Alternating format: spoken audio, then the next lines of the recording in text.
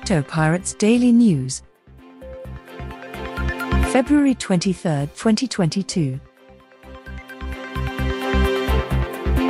News headlines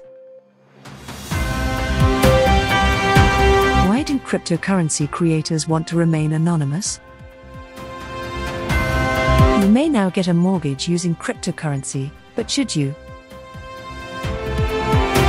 FOMO and YOLO are the most common deals in the metaverse, according to an op ed.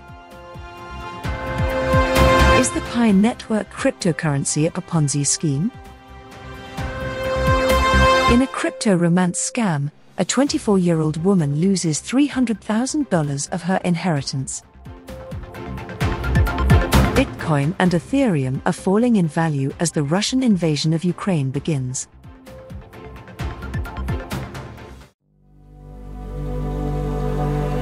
Why do cryptocurrency creators want to remain anonymous? According to critics, anyone making money from NFTs should seek anonymity because what they are selling is worthless. However, the creators are concerned about putting their loved ones in danger. The two lifelong friends from Florida had never sought fame, but when they built a multimillion dollar empire selling digital art, everyone wanted to know who they were. They created the Bored Ape Yacht Club under the aliases Gargamel and Gordon Goner, a collection of 10,000 cartoons of apes with various hairstyles and outfits. These images are sold as digital tokens, NFTs, and it is now difficult to find one for less than $280,000, thanks in part to celebrity endorsements from Paris Hilton to Serena Williams. Buzz Feed, a US news outlet, did some digging earlier this month and discovered their true identities, sparking an outpouring of rage among fans on social media. Doxing is whack, putting people in danger, one Twitter user said, using internet jargon for identifying someone against their will. The story has re emphasized the importance of anonymity in the world of cryptocurrencies. While the creators of Bored Apes may prefer to remain anonymous in the crypto world, they are the owners of a company called Yuga Labs, which requires them to follow all of the usual rules of company filings, including providing named beneficiaries. Using an alias does not make you anonymous, says Alexander Stashtenko, a cryptocurrency expert at KPMG. The possibility of robbery. It's unclear why the Bored Apes founders wanted to remain anonymous, given that they'd given several interviews under aliases. According to critics, anyone making money from NFTs should seek anonymity because what they are selling is worthless. Fans, on the other hand, enjoy being a part of a community where NFT ownership is frequently a gateway to games and other perks. In any case, anyone amassing significant wealth in this field has compelling reasons to remain anonymous. I don't need the public in crypto to know who I am, what I look like, or my origins, says Owl of Moistness, a creator. I don't want to put myself in danger of being robbed or having my family harmed. In the Philippines, where the NFT craze has taken hold, he co founded Yield Guild Games, a startup focused on NFT video games. He emphasizes that the blockchain technology, which underpins cryptocurrencies and NFTs, is a ledger where anyone can trace transactions. By linking his crypto and real world identities, anyone would be able to discover his wealth. However, the greater the scope of a project, the more difficult it is to remain unknown.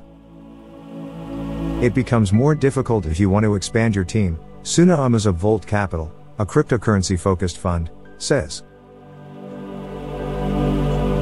The most equitable method. Creating a DAO is one of the most popular ways to remain anonymous in the crypto world, decentralized autonomous organization. DAOs enabled people to collaborate and act in the same way that a company would, essentially acting as shareholders but without formal legal standing or named owners. Anyone making a profit would still have to pay taxes, but tying real world people to these entities is a much more difficult task than, say, searching public records to find the Bored Apes founders. From Zeus, the creator of the Olympus cryptocurrency, to CodeMonkey, the creator of the Port Finance cryptocurrency, this model has served anonymous entrepreneurs well. However, many people take advantage of the expectation of anonymity for nefarious purposes. According to Chainalysis, DAOs and other decentralized entities are particularly vulnerable to fraud. Anubis DAO was one such entity, founded last October by anonymous programmers with nothing more than a Twitter account and a logo. According to Chainalysis, it vanished less than a day after it launched, stealing nearly $60 million from investors. In the crypto world, it appears that the tide is turning against anonymity.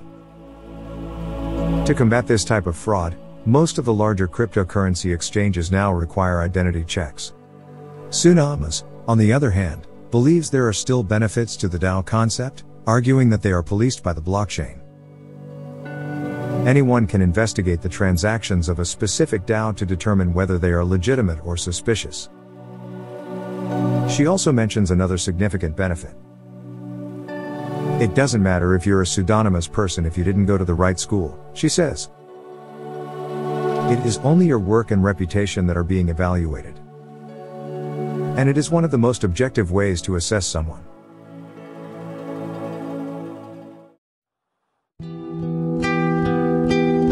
Get a mortgage using cryptocurrency, but should you? Milo, if you haven't heard, is now offering the world's first cryptocurrency backed mortgage loan. It's a 30 year product that allows you to use your cryptocurrency holdings, now simply Bitcoin, to buy a house. The loan is then repaid monthly in USD, Bitcoin, or a stablecoin, plus interest. Milo keeps your crypto in a secure location during the loan, and once the balance is repaid in full, it's freed and returned to you. It's an attractive proposition for crypto investors, especially when you consider that there's no requirement for a down payment, tax returns, or a credit check. Should you jump right in and join the company's rumored long waitlist? Here's what you should think about first. What if the value of your cryptocurrency plummets?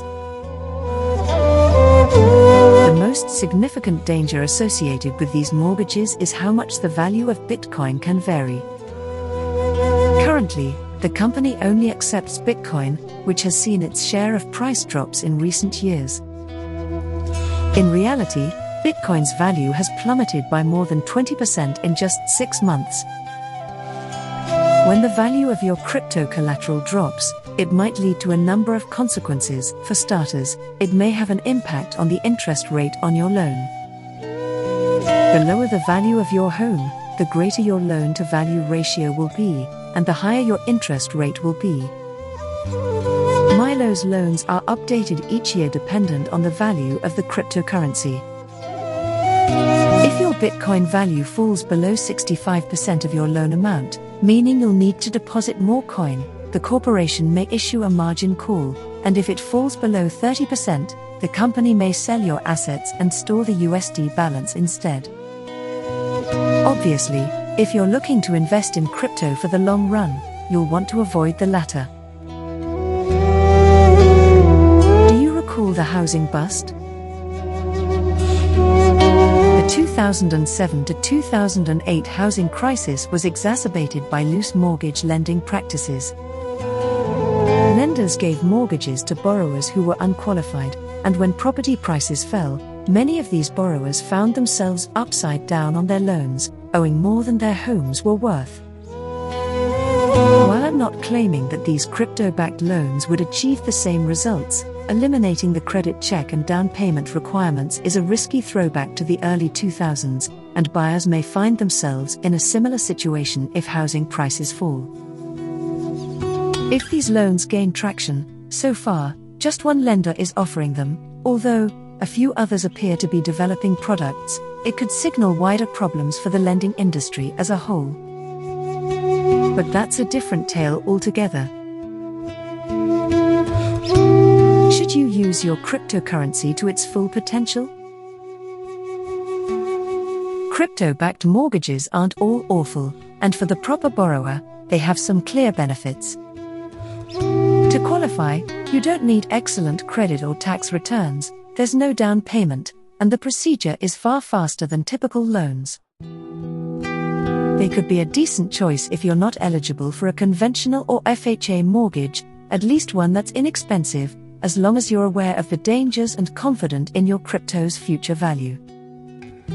But what if you can acquire a traditional mortgage? You'd be better off doing exactly that.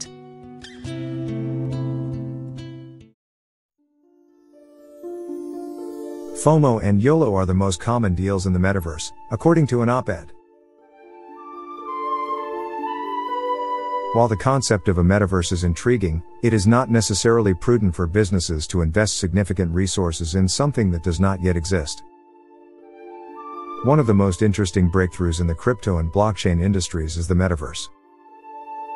Several brands, projects, and publicly traded companies are looking into virtual potential. However, because a fully functional metaverse to invest in does not yet exist, many acquisitions appear to be driven by FOMO or YOLO rather than sound commercial judgment. The metaverse is exciting, but it isn't complete. The coming together of a virtual world and the actual world appears to be intriguing on paper. It opens up a world of possibilities for customers, brands, businesses, and everyone else. However, one must accept that, except on paper, the metaverse does not yet exist. Because there is little or no infrastructure in place, creating a globally accessible virtual world that connects to the actual world will take time. While the concept of a metaverse is intriguing, it is not necessarily prudent for businesses to invest significant resources in something that does not yet exist. Staying ahead of the competition typically necessitates taking a risk here and there, but business activity as a whole tends to favor FOMO.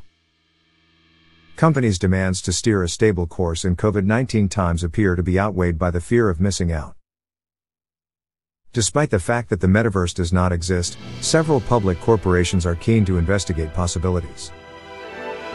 Unfortunately, their ultimate goal must be questioned, as not all efforts are focused on revenue, user growth, or other conventional options.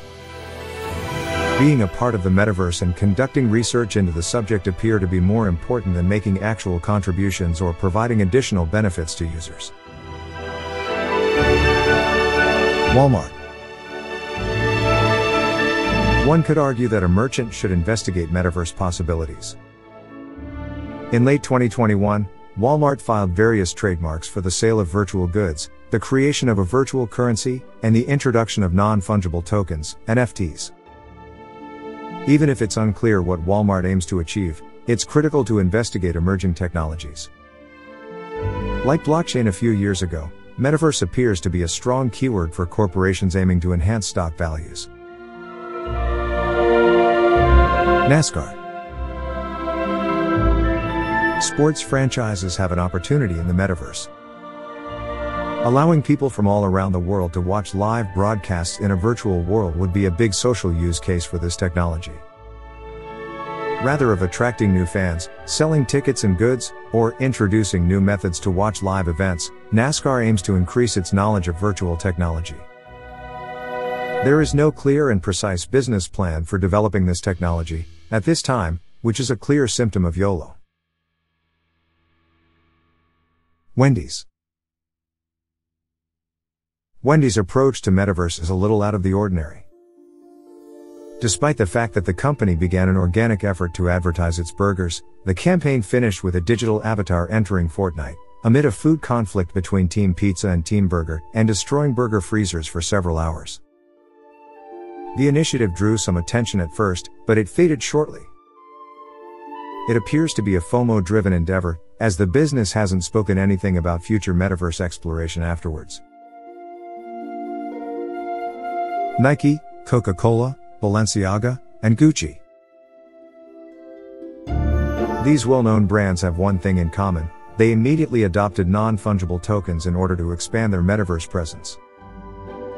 Coca Cola, for example, debuted virtual wearables as part of an NFT metaverse collection honoring International Friendship Day. Furthermore, the corporation auctioned off a loot box on OpenSea with Decentraland specific clothes. Another FOMO game, this time in the rush to introduce unique products to the virtual world, even if they have little real world value. Gucci's Gucci Garden multimedia experience for Roblox took a slightly different approach. It's a one of a kind, interactive virtual exhibit in which avatars transform into mannequins and absorb exhibit pieces. In the end, each participant is a one of a kind creation.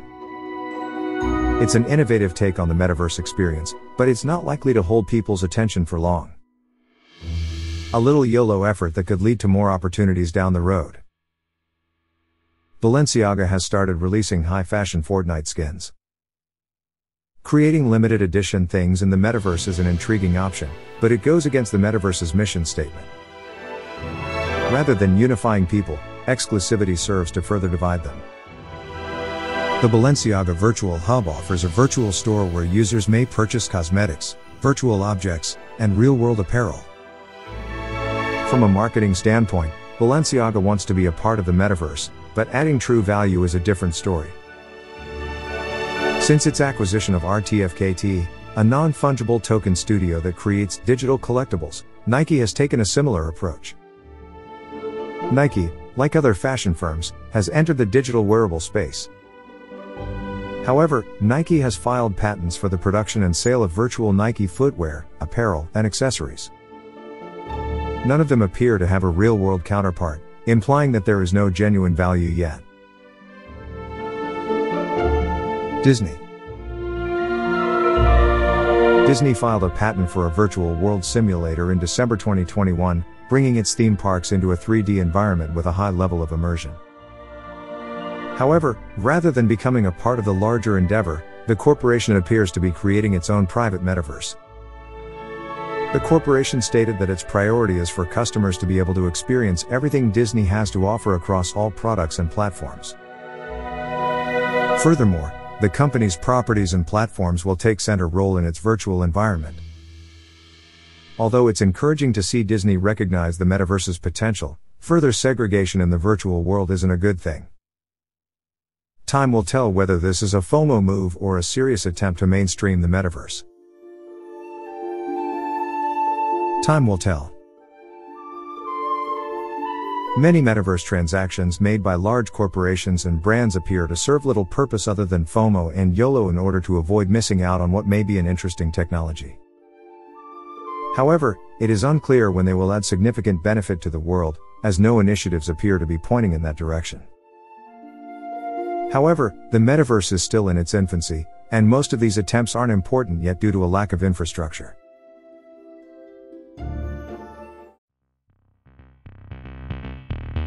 Is the Pi network cryptocurrency a Ponzi scheme?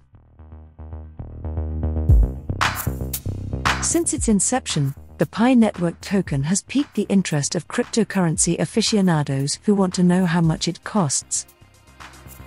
The one of a kind cryptocurrency project was introduced in 2021, and it has been dogged by numerous doubts and suspicions since then. Pi Network was created to enable consumers to mine cryptocurrency using their smartphones. What exactly is the Pi Network? It's a new virtual currency and developer platform that allows people to mine Pi coins using their cell phones. Pi Network, according to the project's website, allows users to mine the digital token without exhausting the battery or having a negative influence on the environment.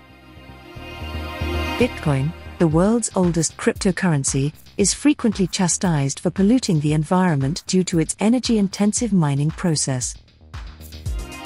Last year, China cracked down on crypto mining operations, claiming that they were damaging the environment.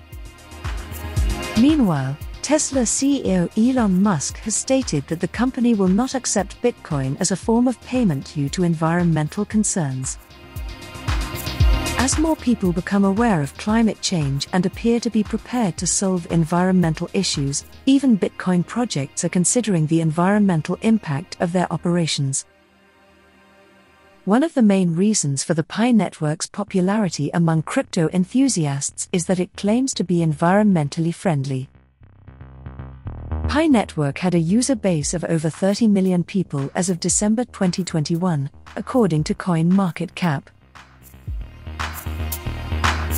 Is Pi Network a legitimate way to make money, or is it a Ponzi scheme? Aside from features like in app chatting, the Pi Network app currently has little utility. Furthermore, there is no method to determine the worth of the Pi coin because users are mining the cryptocurrency in the hopes of one day being able to convert the Pi coins to a real value. Pi Network supporters frequently state on social media sites that it cannot be a Ponzi scheme because it does not ask its customers for money. We're not implying that Pi Network is a Ponzi scheme. It's worth noting, though, that users contribute to the Pi Network app's value.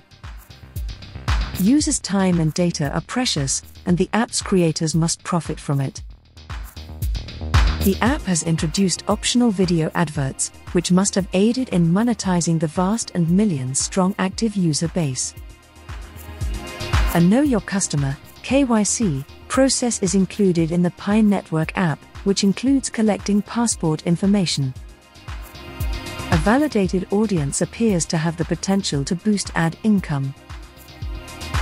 This project is founded on the assumption that further features, such as a coin launch or listing on a cryptocurrency exchange, would be added in the future.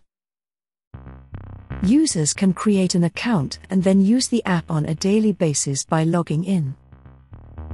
They are expected to be able to obtain digital cash by just pressing a button within the app.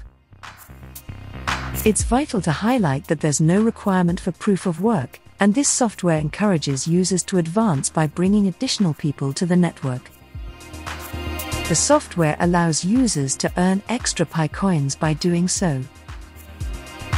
Multi level marketing promoters and pyramid scheme operators frequently use such models. Because Pi Crypto is not listed on decentralized exchanges, it looks that users will not be able to profit from it. The Pi coin can't be traded, and it's also not feasible to buy or sell it.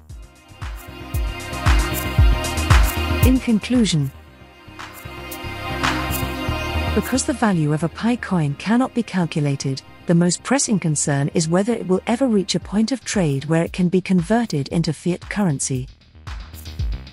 In the cryptocurrency market, the possibilities are unlimited, and Pi coin holders can only wait to see if their dreams come true. It is impossible to determine the true value of the Pi coin until and unless the cryptocurrency is listed on an exchange.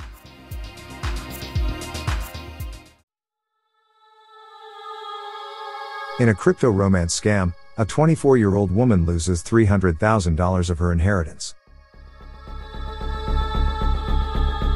A 24 year old woman from Tennessee, a state in the United States, lost $300,000 in a crypto scam on a dating app.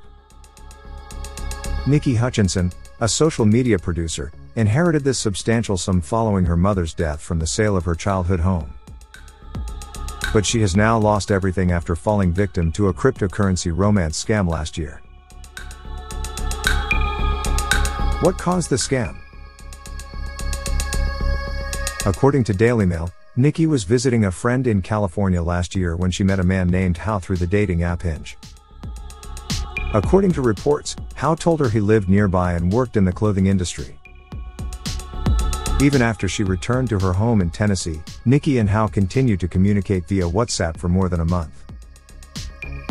However, Nikki had no idea that she would become a victim of a new type of fraud, crypto romance scams, in the midst of all of this. When Nikki told how she had recently inherited nearly $300,000, he advised her to invest it in cryptocurrency. According to a screenshot of the exchange obtained by the New York Times, Hao once texted Nikki, I want to teach you to invest in cryptocurrency when you are free, bring some changes to your life, and bring some extra income to your life. Finally, Nikki agreed to Hao's suggestion and sent a small amount of cryptocurrency to a wallet address he provided her, which he claimed was linked to an account on a cryptocurrency exchange called ICAC. She then proceeded to send more money after her money had successfully appeared on the ICAC website. Nikki was pleasantly surprised by the ease with which she could make money by following Hao's advice, and as a result, she eventually took out a loan to continue investing after deciding to invest her entire savings on the crypto trading platform. The signals of dominance. Nikki first noticed red flags in December 2021, when she couldn't withdraw money from her account. Then an ICAC customer service representative told her that her account would be frozen unless she paid her taxes, which were in the hundreds of thousands of dollars. Nikki's habit of regularly texting Hao had, coincidentally, stopped by that point. Even in their previous video chat, the man only showed a portion of his face before abruptly terminating the call. Nikki's suspicion grew as she realized how long she had been duped. I was like, oh, God, what have I done? She explained to the New York Times. Nikki Hutchinson is currently living with her father and attempting to catch up. She is also said to be in contact with authorities in Florida in order to track down her con artist. She was not, however, the only victim of fraud last year. According to FTC data, nearly 56,000 romance scams were reported to the agency in 2021, totaling a whopping $547 million in losses.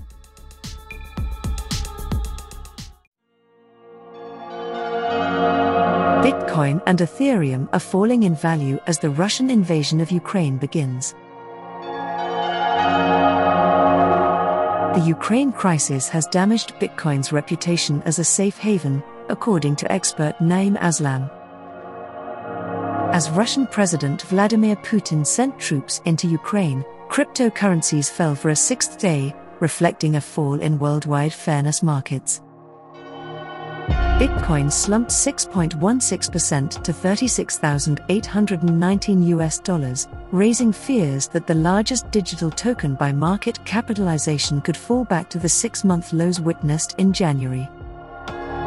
Ethereum, a smaller rival, was down 7.98% to 2,522 US dollars. On the back of geopolitical tensions between Russia and Ukraine, US and European futures are plunging, said Naeem Aslam, a market analyst at Avatrade.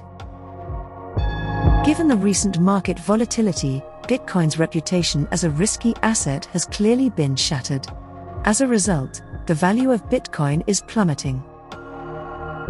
After Putin dispatched soldiers into two breakaway republics in eastern Ukraine, UK cabinet member Sajid Javid told Sky News that an invasion of the country had begun. International equities plummeted, oil prices soared, and gold prices continued to rise. Nonetheless, Aslam noted that political conflicts had been overshadowing cryptocurrencies' fundamental well being. When it comes to cryptos, there's no doubt that fundamentals are improving, Aslam said. By this, we mean that there may be more use of digital currencies and regulatory clarity. Russia is in the process of creating legislation to accept cryptocurrency as legal tender, while a top official from the European Union revealed that the body is open to the usage of digital tokens, but only under strict conditions. However, the price movement of Bitcoin and Ethereum continues to frighten merchants, who have begun to believe that a bear market could endure longer than previously predicted. It appears like the value of Bitcoin and Ethereum could return to the lows seen earlier this year, but we may not have the same number of crypto users this time around as we did the last time, causing the price to fall much farther. In January, Bitcoin plunged as low as $35,000 and Ethereum fell below 2,500 US dollars, owing to concerns about the global financial system's health, rising inflation and interest rates, and political tensions over Ukraine. Aslam recognized that Bitcoin's reputation as a safe haven has been shattered due to recent market volatility. Bitcoin and Ethereum were adopted by a number of altcoins. At 82 US dollars and 38 cents, Solana was down 13.74%, Terra was down 5.48% at 49 US dollars and 17 cents, and Avalanche was down 15.66% at 69 US dollars and 13 cents.